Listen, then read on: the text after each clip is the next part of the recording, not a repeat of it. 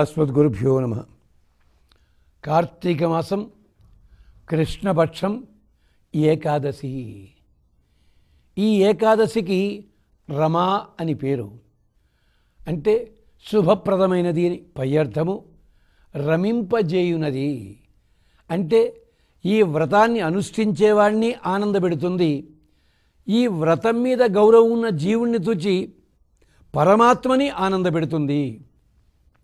అలాంటిది గనక ఇది రమ అని పేరు. నారద పురాణంలో అద్భుతంగా చెప్తారు ఈ ఏకాదశి ఎలా అనుష్ఠించాలి అన్నది. సాధారణంగా మనమంతా కార్తీక మాసం అనేసరికి రెండే పురాణాలు చూస్తాం. ఏమిటవి? స్కాందము పద్మము. ప్రత్యేకించి కార్తీక పురాణం దాంట్లో ఉంది గనక. కానీ ఇతర పురాణాల్లో కూడా ఈ కార్తీక మాస వైభవాన్ని చూడండి. నారద పురాణంలో చెప్పాడు కార్తికే కృష్ణపక్షేతు. ఏకాదశ్యాం రమాం ఉపోష్య విధివత్. ఉపవాసం చెయ్యండి ఆ రోజుని. విధివత్ విధిని అనుసరించి ఉపవాసం చెయ్యండి. అంటే పొద్దున్నే స్నానం చెయ్యండి. తరువాత స్వామికి దీపారాధన చెయ్యండి. ఆరాధన చెయ్యండి.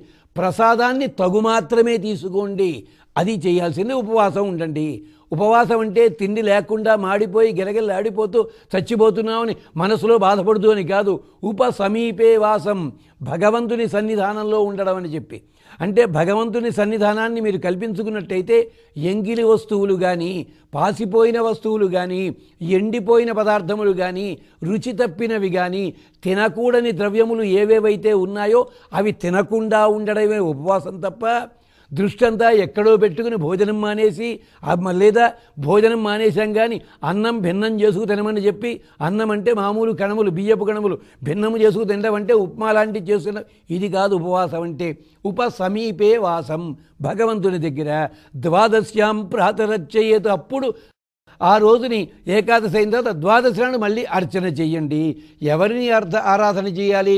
కేశవం కేశిహంతారం దేవదేవం సనాతనం.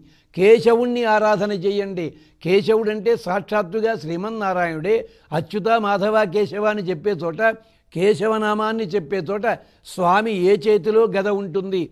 ఏ చేతిలో శంఖము? ఏ చేతిలో చక్రము? ఏ చేతిలో పద్మము? ఆగమ శాస్త్రం చెప్తోంది. ఇరవై నాలుగు పేర్లు ఉన్నాయి స్వామికి నాలుగు చేతుల లోపల నాలుగు వస్తువులు ఉంటాయి శంఖము చక్రము గద లీలా పద్మము ఇవి చోట్లు మారుతుంటే ఒక్కొక్క పేరు వచ్చింది ఇరవై నాలుగు. అదిగో అలాంటి కేశవుణ్ణి ఆరాధన చేయండి కేశి హంతారం. కేసి అనే రాక్షసుని వధించినవాడు. ఎవరా కేసి అనే రాక్షసుడు? కృష్ణావతారంలో వచ్చాడు గుర్రము రూపము. అతన్ని వధించాడు ఆయన మరి ఈ పేరు ఎప్పుడో ఎందుకుంది? గుర్రం అంటే మనలో ఉండే ఇంద్రియాలకి సంకేతము. అందుకని హంత అంటే అర్థము చంపడమని మాత్రమే కాదు లొంగ తీసుకొనడానికి కూడా ఉంది. అంటే మన ఇంద్రియాలని లొంగ తీసుకునేవాడు. అది ఎలా ఉంటుందండి అంటే వేణి సంహారం అని నాటకం ఉంది. వేణి అంటే జుట్టు సంహారం అంటే చంపడం. అదే అర్థం అక్కడ సంహార శబ్దానికి అర్థం అది కాదు. దాన్ని జాగ్రత్తగా ముడివేయడము లేదా దువ్వడం అని అర్థం సంహార శబ్దానికి చాలా అర్థాలు ఉన్నాయి అంచేత ఇక్కడ కేసి హంతారం అంటే అర్థం ఏమిటి?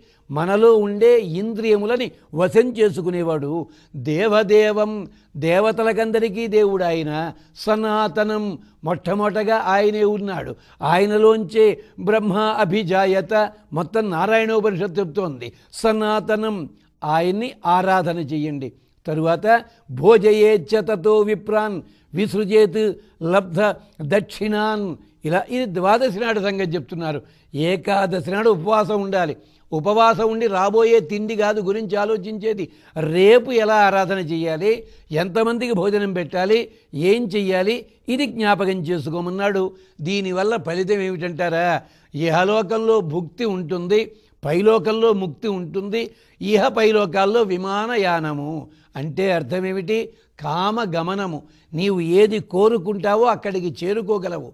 ఎవరు నీ దగ్గరికి చేరుకోవాలని నువ్వు అనుకుంటావో వాళ్ళంతా నీ వాళ్ళు అవుతారు ఇది అందుకనే స్కాంద పురాణం కూడా చెప్తుంది ఈరోజు గురించి.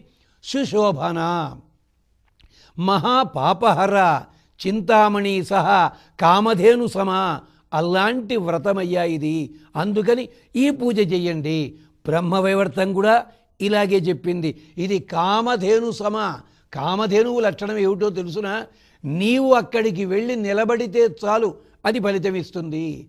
రామాయణంలో కథ వస్తుంది. ఎవడో రైతు ఎద్దుల్ని కొడుతున్నాడు నడవలేకపోతుంటే కామధేను ఏడ్చిందట చూచి ఏమిటంటే అయ్యో పంటలు పండడానికి లేదు దున్నుతున్నాడు వర్షం పడలేదంటే ఇంద్రుడు వెంటనే వర్షం కురిపించాడు.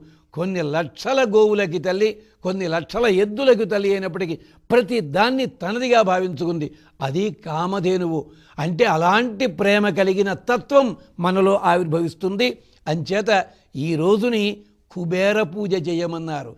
ఈ మధ్యన మనం ఎక్కడో లాఫింగ్ బుద్ధ అని తెచ్చుకుంటున్నామే. అది చైనా వాడిదో మంగోలియా వాడిదో కాదు.